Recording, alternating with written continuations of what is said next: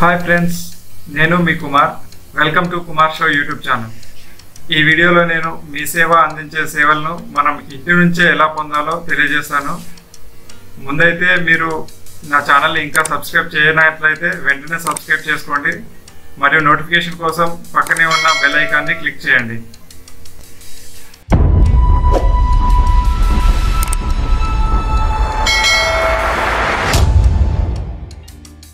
ఇక మెయిన్ వీడియోలోకి వెళ్తే మన తెలుగు రాష్ట్రాల్లో మీ సేవ గురించి తెలియని వారు ఎందుకంటే ప్రస్తుతం విద్యా ఉద్యోగం మొదలుకొని ప్రభుత్వం అందించే ఏ పథకమైనా మనం అప్లై చేసుకోవాలంటే ఏదో ఒక రకంగా మీ సేవకు లింకప్ చేస్తున్నాం.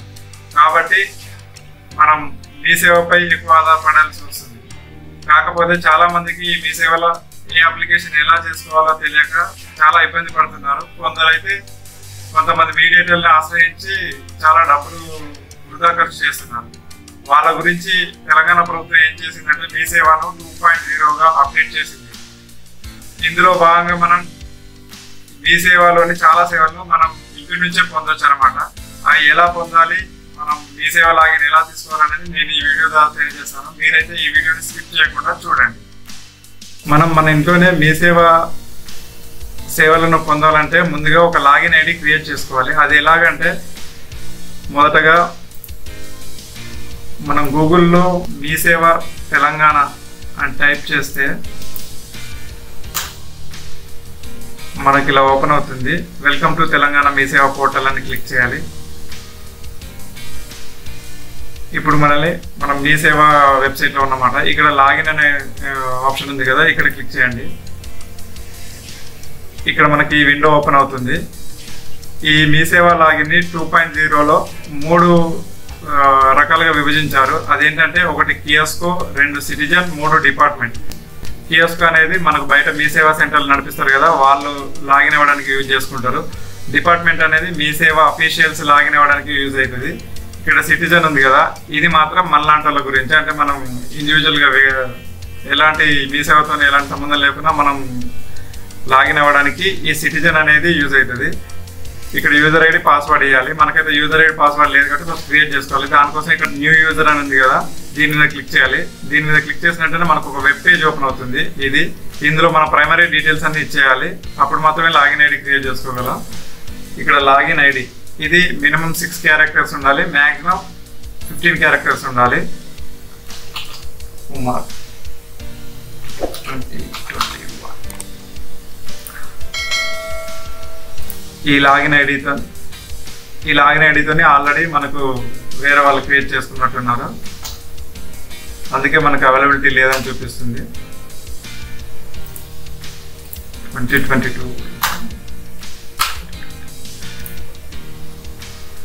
సో మనకైతే కుమార్ ట్వంటీ ట్వంటీ త్రీ అనేది అవైలబిలిటీ ఉంది. ఇప్పుడు మనం ఒక పాస్వర్డ్ని సెట్ చేసుకోవాలి. పాస్వర్డ్ అనేది మనకు నచ్చింది అయి ఉండొచ్చు. ఎలాంటి రిస్ట్రిక్షన్ లేదు. మనకు నచ్చిన పాస్వర్డ్ని ఎక్కువ గుర్తుండే పాస్వర్డ్ను సెలెక్ట్ చేసుకోవాలి. దానికోసం ఇక్కడ పాస్వర్డ్ ఎంటర్ చేయాలి. ఇక్కడ మళ్ళీ ఒకసారి కన్ఫర్మ్ చేయాలి పాస్వర్డ్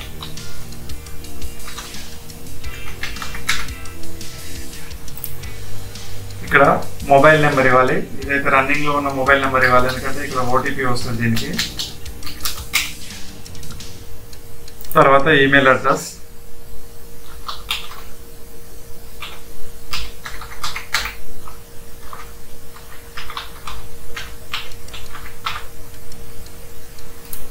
తర్వాత ఫుల్ నేమ్ ఈ ఫుల్ నేమ్ అంటే ఏదన్నా మనకు ఆధార్ కార్డు కానీ ఓటర్ ఐడి కానీ దాని మీద ఎట్లా ఉంటుందో అట్లా ఇవ్వాలి. తర్వాత అడ్రస్ నేనైతే మా విలేజ్ నేమ్ ఎంటర్ చేస్తున్నాను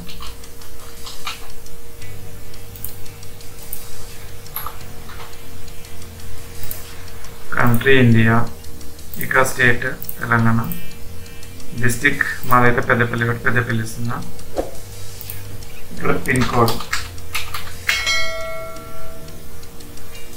ఇక్కడ సబ్మిట్ ఇవన్నీ ఎంటర్ చేసిన తర్వాత ఇక్కడ సబ్మిట్ బటన్ ఉంది కదా ఈ సబ్మిట్ బటన్ మీద క్లిక్ చేయాలి. సో ఓటీపీ వస్తుంది అని చెప్పిన కదా నా మొబైల్కి అయితే ఓటీపీ వస్తుంది. ఇక్కడ ఓటీపీని మనం ఎంటర్ చేయాలి.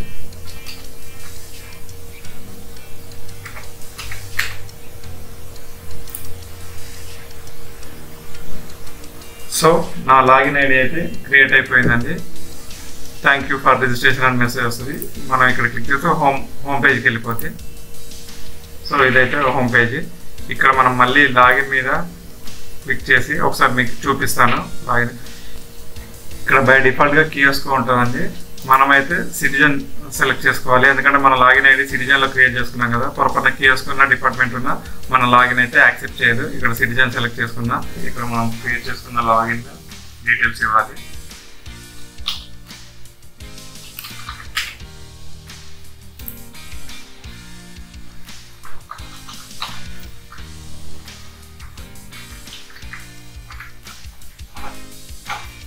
Login details.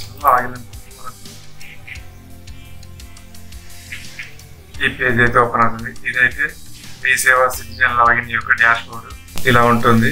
ఇక్కడ మీరు పైన చూస్తే డిపార్ట్మెంట్ వైజ్ ట్యాబ్స్ ఉన్నాయి. ఇక్కడ కిందనేమో మనకి సర్వీసెస్ వైజ్ ట్యాబ్స్ ఉన్నాయి. ఇక్కడ మీరు డిపార్ట్మెంట్ వైజ్ సర్వీసెస్ పొందాలనుకుంటే మనం ఇక్కడ దీన్ని ఒకదాన్ని సెలెక్ట్ చేసుకోవాలి. మనం ఏ డిపార్ట్మెంట్కి సంబంధించిన అప్లికేషన్ చేయాలనుకుంటున్నామో ఆ డిపార్ట్మెంట్ మీద సెలెక్ట్ చేసుకోవాలి. ఫర్ ఎగ్జాంపుల్ ఇక్కడ రెవెన్యూ ఉంది కదా రెవెన్యూ మీద క్లిక్ చేస్తే రెవెన్యూకి సంబంధించిన సర్వీసెస్ అని ఇక్కడ మనకు చూపిస్తుంది అనమాట అదేవిధంగా మనకి ఇక్కడ సర్వీస్ వైజ్ ట్యాబ్స్ ఉన్నాయి. ఇక్కడ సర్వీస్ వైజ్ మనం సెలెక్ట్ చేసుకోవాలనుకుంటే ఆ సర్వీస్ ఫర్ ఎగ్జాంపుల్ ఏదైనా అప్లికేషన్ చేయాలనుకుంటే ఇక్కడ ఏదైనా బుకింగ్ చేసుకోవాలంటే ఈ ట్యాబ్ మీద. అదే ఏదైనా సర్టిఫికేట్స్ కోసం అప్లై చేయాలనుకుంటే ఇక్కడ ఇట్లా డిఫరెంట్ డిఫరెంట్ ట్యాబ్స్ ఉన్నాయి కదా. దానికి సంబంధించిన ట్యాబ్స్ మీద క్లిక్ చేసుకుంటే మనకి అక్కడ ఉన్న సర్వీసెస్ అయితే మనకు చూపిస్తుంది అనమాట ఇలాగా. సో ఇది పైన డిపార్ట్మెంట్ వైజ్ ఇక్కడ సర్వీసెస్ వైజ్ ఒకవేళ మనకు అన్ని సర్వీసెస్ అంటే సిటిజన్ లాగిన్ ద్వారా ఎన్ని సర్వీసెస్ ఉన్నాయో అన్ని చూడాలనుకుంటే ఇక్కడ ఆల్ సర్వీసెస్ అని మీద దీని మీద క్లిక్ చేస్తే ఇక్కడ ఉన్న ఆల్ సర్వీసెస్ మనకు సిటిజన్ లాగిన్ ద్వారా మనం పొందే ఆల్ సర్వీసెస్ మాత్రం ఇక్కడ చూపిస్తుంది. మీరు చూడొచ్చు. ఇక్కడ active bill payments BSNL payments child name CD CDM అట్లా రకరకాల సర్వీసెస్ అయితే ఉంటాయి. ఇందులో మనకు అవసరం ఉన్నాయి కొన్ని ఉంటాయి. అన్ని అవసరం ఉండవు. ఒక్కొక్కరికి ఒక్కొక్క అవసరం ఉంటుంది కదా అట్లా. మనకు అవసరం ఉన్నాయి మాత్రం ఇక్కడ సపరేట్ చేసి పెట్టుకోవచ్చు మనం ఫేవరెట్స్లో అది కూడా చెప్తాను ఇక్కడ ఫేవరెట్ ట్యాబ్ ఉంది కదా మనకి ఇక్కడ ఫేవరెట్లో సపరేట్ చేసి చూపెట్టుకోవచ్చు అన్నట్టు. నేనైతే ఇక్కడ కొన్ని చేసుకున్నాను నాకు ఎక్కువ యూజ్ అయితే కానీ ఎక్కువ మా ఫ్రెండ్స్ కానీ నేను ఇక్కడ చేసి పెట్టుకున్నాను ఫేవరెట్స్ ఇక్కడ మీరు చూడొచ్చు డిఫరెంట్ డిఫరెంట్గా ఉన్నాయి. ఇక్కడ correction in death certificate CDME అని. అంటే మన డెత్ సర్టిఫికేట్లో కరెక్షన్స్ ఉన్నా ఇక్కడ మనకు పర్మిషన్ ఫర్ ఈవెంట్ బందోబస్తు అని ఉంది కదా. ఇదేమో మనకు జనరల్గా పెళ్ళిళ్ళప్పుడు డీజేకి పర్మిషన్ కావాలంటారు కదా. అలాగే మన వినాయక చవితి అప్పుడు గణేష్ మండపాలు పెట్టి అక్కడ మనకి పర్మిషన్ కావాలంటారు కదా పోలీస్ స్టేషన్లో. అటువంటి వాటి కోసం పర్మిషన్ చేసుకోవడానికి మనం ఇంట్లో నుంచి ఇక్కడ పర్మిషన్ చేసుకో మన పర్మిషన్ కోసం అప్లై చేసుకోవచ్చు అనమాట ఇక్కడ బర్త్ అండ్ డెత్ సర్టిఫికేట్ ఉంది కదా జిహెచ్ఎంసీ అని. ఇది బర్త్ అండ్ డెత్ సర్టిఫికేట్కి అప్లై చేసుకోవడానికి ఇది community and date of birth certificate లేదా కదా అంటే క్యాస్ట్ సర్టిఫికేట్ ఇక్కడ residence certificate OBC certificate income certificate ఇట్లా మనం ఈ ఇంట్లో నుంచి అప్లై చేసుకోవడానికి మనం ఈ సిటిజన్ లాగిన్ అయితే యూజ్ చేసుకోవచ్చు అనమాట మనం మీ సెంటర్కి వెళ్ళకుండా. ఇక్కడ చూడండి న్యూ కనెక్షన్ అనేది. ఎన్పిడిసిఎల్ న్యూ కనెక్షన్ లేదా నేమ్ చేంజ్ మన నేమ్ తప్పకుండా నేమ్ చేంజ్ చేసుకోవడానికి ఇట్లా ఉందన్నమాట. ఇవన్నీ ఫేవరెట్స్ యాడ్ చేసుకుంటే ఏంటంటే ఆల్ సర్వీస్లో అన్ని వెతుక్కోకుండా డైరెక్ట్ మనం ఇక్కడ నుంచి చేసుకోవచ్చు అన్నట్టు. మనకు ఎక్కువ అవసరం ఉండేది ఇట్లా చేసుకోవచ్చు అన్నట్టు.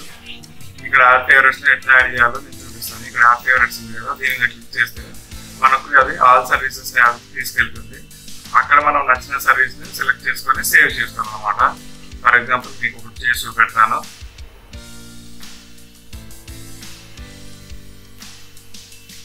ఇందులో మనకు ఏదైతే ఫేవరెట్గా యాడ్ చేస్తున్నామో అది సెలెక్ట్ చేసుకోవాలన్నమాట. ఫర్ ఎగ్జాంపుల్ నేను ఇక్కడ ఒకటి చేసి చెప్తాను కదా చూడండి. నేను ఏది యాడ్ చేస్తానంటే ఇక్కడ missing or lost documents or articles ఉంది కదా దీన్ని సెలెక్ట్ చేసుకుంటాను. ఇలా టిక్ మార్క్ వస్తుంది మనం సెలెక్ట్ చేసుకున్నట్టునే అలాగే దాంతోపాటు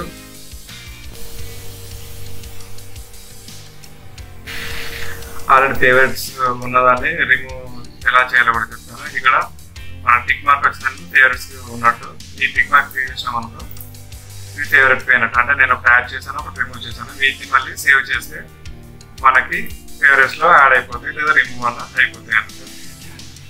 చూసారు ఇక్కడ ఆర్ఓ పేమెంట్స్ అనేది పోయింది. దాంతో పాటు మనకి ఇక్కడ missing or lost documents articles అని వచ్చింది కదా.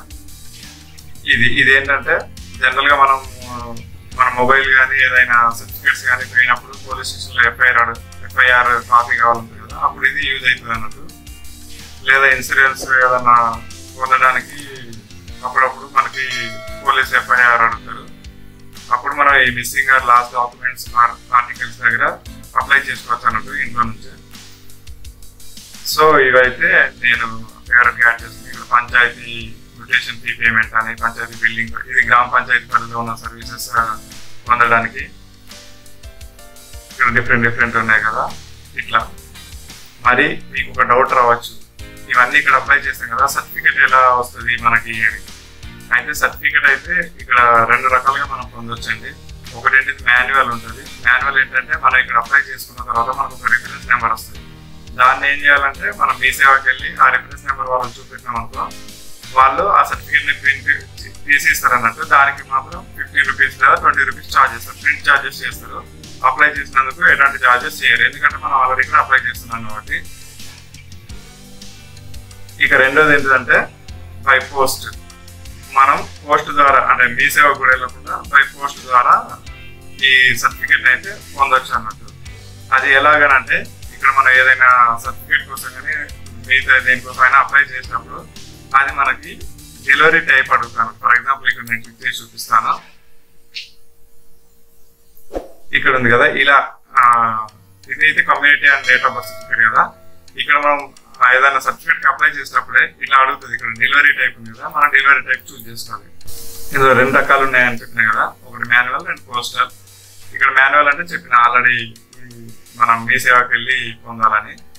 అదే పోస్టల్ సెలెక్ట్ చేసుకున్నాం అనుకో మనకు ఇక్కడ ఇది అడుగుతుంది. సెవెన్ వర్కింగ్ డేస్లో మీకు డెలివరీ అయ్యింది అని ఇక్కడ మనకు ఒక మెసేజ్ వస్తుంది. దాని మీద ఓకే బటన్ క్లిక్ చేస్తే ఇక్కడ మనకు ఒక అడిషనల్ ట్యాబ్ యాడ్ అవుతుంది. అదేంటంటే మన పోస్టల్ అడ్రస్ అంటే మనకు ఎక్కడికైతే మనం రావాలనుకుంటున్నామో ఆ అడ్రస్ ఇవ్వాలి. దానికి సంబంధించిన కొరియర్ ఛార్జెస్ కూడా మనమే పే చేయాల్సి ఉంటుంది. సో ఇలా మనం పోస్టర్ సెలెక్ట్ చేసుకుంటే మనకు పోస్టర్ వస్తుంది. అయితే మీకు ఏదైనా అర్జెంట్ ఉంటే మాత్రం మీరు మీ సేవకి వెళ్ళి తీసుకోవడం బెటర్ ఎందుకంటే పోస్టర్లో అయితే కొంచెం డీలే అవుతుంది కాబట్టి. సో ఈ రకంగా మనం సర్టిఫికేట్ పొందవచ్చు ఇది వర్కౌట్ అవుతుందంటే చాలా ఖచ్చితంగా వర్కౌట్ అవుతుంది నేను కూడా మీకు కావాలంటే మీ డెమో కోసం ఇందులో ఏదైనా ఒక అప్లికేషన్ అప్లై చేసి చూపిస్తాను మీకు. ఏదైనా ఒక సర్టిఫికేట్ గురించి అయినా ఏదైనా పర్మిషన్ గురించి అయినా. అయితే అది ఈ వీడియోలో చేయను ఎందుకంటే వీడియో లెంత్ ఎక్కువ అయిపోతుంది నేను మీకు కావాలంటే సపరేట్ వీడియో చేస్తాను. ఇక్కడ నుంచి మనం ఎలా అప్లై చేసుకోవాలో. సో నేనే ఇలా వీడియో చేయాలని ఏం లేదు. ఒకసారి మీరు లాగిన్ అయ్యారంటే మీకు ఆటోమేటిక్గా తెలిసిపోద్ది ఎలా అప్లై చేసుకోవాలనేది. వన్స్ ఒకసారి క్లిక్ చేస్తే అక్కడ తెలిసిన డీటెయిల్స్ మన డీటెయిల్స్ అడుగుతుంది అది ఇచ్చేయచ్చు. ఇచ్చేసి సబ్మిట్ కొడితే అంతే అప్లికేషన్ చాలా ఈజీ అండి. సో నేనైతే మీకు ఈ వీడియో నచ్చిందని అనుకుంటున్నాను. ఒకవేళ మీకు నిజంగా నచ్చినట్టయితే నా ఛానల్ని సబ్స్క్రైబ్ చేసుకోండి. అలాగే ఈ వీడియోని వీలైనంత మందికి షేర్ చేయండి. మీకు యూజ్ కాకపోయినా ఇంకా వేరే వాళ్ళకి మీ ఫ్రెండ్స్ కానీ మీ రిలేటివ్స్ కానీ యూజ్ అవుతుంది. సో ఈ వీడియోని అయితే తప్పకుండా షేర్ చేయండి. మీరు ఇంకా నా ఛానల్ని సబ్స్క్రైబ్ చేయనట్లయితే సబ్స్క్రైబ్ చేయడం అయితే మర్చిపోవద్దు. Thank you bye